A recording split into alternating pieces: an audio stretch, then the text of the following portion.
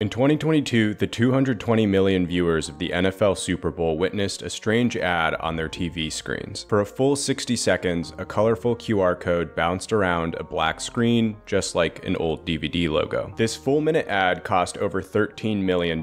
When scanned, the QR code sent viewers to the promotional website of Coinbase, a crypto exchange platform. Within the first minute, over 20 million people scanned the QR code and crashed the site. Despite the crash, the ad was so new, simple, in your face, and wildly successful that QR codes are now becoming part of mainstream ads. But how can QR codes, these little black squares with maze like patterns, communicate information to your phone using only a camera? If you take a step back, it's pretty incredible. To the human eye, these abstract squares can communicate information to your phone instantaneously. But that was never the intended purpose of QR codes, at least not initially. But just like how CDs replaced vinyl, QR codes are replacing barcodes. And to understand how QR codes work, you have to understand the problem they were created to solve.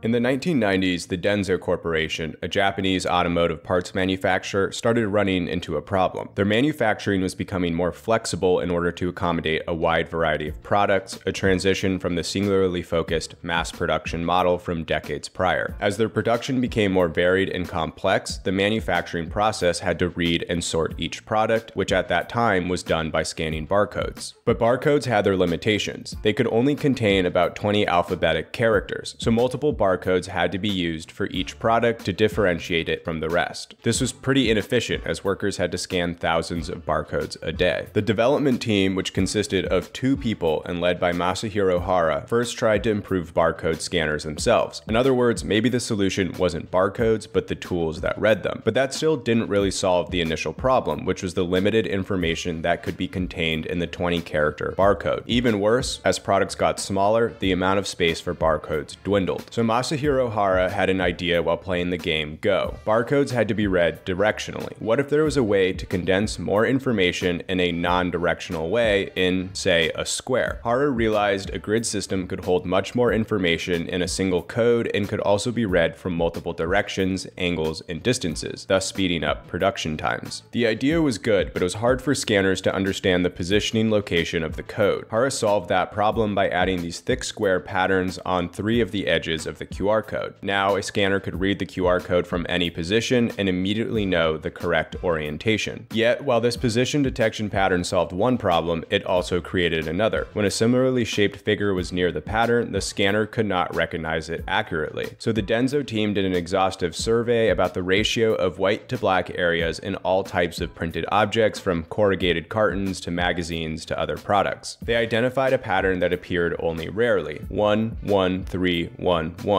This made the position detection pattern easily determinable by scanners regardless of the angle of scanning. Included in the white and black patterns of the code was data capable of holding 7,000 numerals and the capacity to code kanji characters, a far cry from the meager 20 character limit of barcodes. By Denso's estimates, these QR codes could also be read 10 times faster than other types of code. It makes sense that QR literally stands for quick response. But what do the black and white patterns actually mean? How does a scanner or phone actually interpret data from the pattern? Let's walk through your phone's thinking when its camera scans a QR code. First, as mentioned earlier, the phone recognizes the position patterns on the three edges of the code, so it now knows the orientation and the edge limits of the code. In the one empty corner, the data modules indicate if the rest of the code is numeric, alphanumeric, byte, or kanji. Next, just above the mode indicator is the character count indicator, where the code informs your phone how many characters the encoded data is. The phone now knows the data type and character length, so now it can appropriately scan the rest of the data modules where it gathers all the remaining necessary data that you'd end up seeing on your end, like a website. The pattern is read through to a stop indicator module, but that leaves a fair amount of data left. The remaining modules are all present for error correction in case there was an error in reading the previous data or there were gaps missing. Taking a step back, it's pretty incredible that this tiny image filled with black and white shapes can transmit so much information information. It's ingenious, but how did it become so universal? Well, after developing the QR code, Denso Wave made the technology freely available to the public. They retained the patent, but announced they would not exercise it. But they did sell the scanner technology that could read them. While this was a strategically brilliant move as it incentivized the use of the superior QR codes but made people use Denso products, not even Denso could anticipate how ubiquitous QR codes would become to ordinary people rather than industrial businesses as intended. QR codes grew steadily throughout the 2000s and early 2010s, but boomed around the time of the COVID 19 pandemic. They were free, easy to make, contactless, and accessible to anyone with a smartphone, which is most people. They started appearing en masse at restaurant menus, ticket logins, for payments, for surveys, and yes, just like the ad in the Super Bowl. This rise has been predictable. Think about restaurants who use QR code menus. I'll admit that I'm with older generations on this one and like the feel and ease of use of physical menus, but from a restaurant owner's perspective, they can update digital menus quickly, whether to add daily specials or cross out a menu item that's out for the day. They don't have to print paper out, or if there's a typo in the menu, they don't have to reprint dozens of menus. It makes life easier. Ultimately, that was Denso Wave's vision. It was supposed to make life easier by being a fast communicator of information. That applies in the industrial sense and in the day-to-day -day sense. We might not immediately think of QR codes as life-changing technologies, but it has certainly made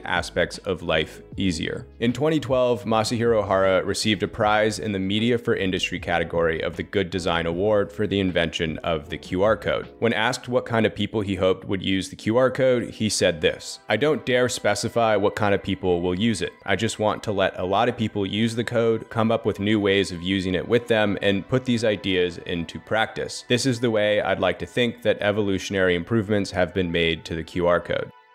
If you like this video, please consider liking and subscribing. It helps me know what interests my audience and helps me grow my channel. You can also check out my Patreon, the link is in the bio.